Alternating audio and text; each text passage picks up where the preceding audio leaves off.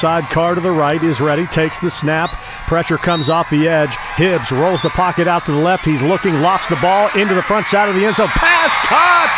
Unbelievable catch by Fabian Guerra. One handed over two defenders.